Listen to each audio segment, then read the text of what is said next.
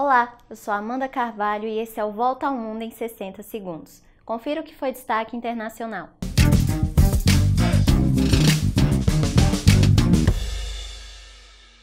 O encontro entre o presidente da Coreia do Norte, Kim Jong-un, e o líder russo Vladimir Putin na quinta terminou sem anúncios de acordos. Os dois se comprometeram a fortalecer laços e discutiram a situação da Península Coreana cientistas norte-americanos constataram que as mudanças climáticas causaram impacto negativo de 25% no PIB brasileiro, de 1961 a 2010.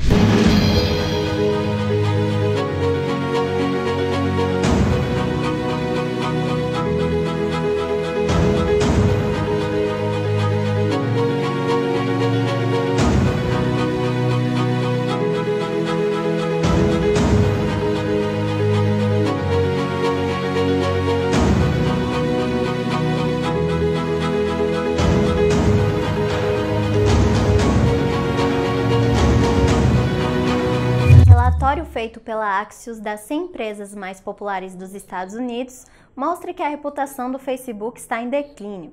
A queda é impulsionada principalmente pelos recentes escândalos de privacidade. Obrigada por assistir esse vídeo, se inscreva no nosso canal e semana que vem tem mais. Tchau!